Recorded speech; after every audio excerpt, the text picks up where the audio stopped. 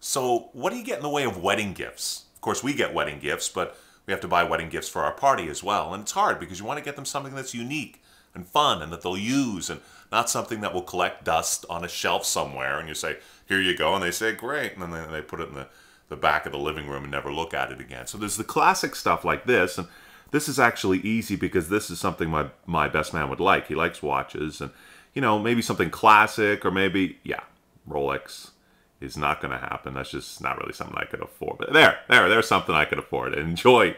Goofy says, happy wedding.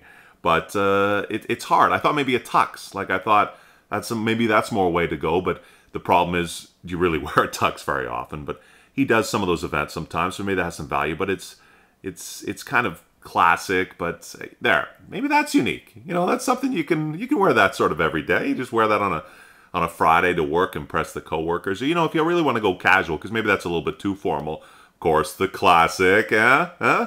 The tuxedo T-shirt. Uh, that's forever. Then, of course, you have your bridesmaid and your maid of honor, and you got to find them some nice dresses. There's some gorgeous ones. I hope you can see that. Oh, those are beautiful. These are probably the best you've ever seen in the history of man. Let's get them. Oh, look at those. How great is that?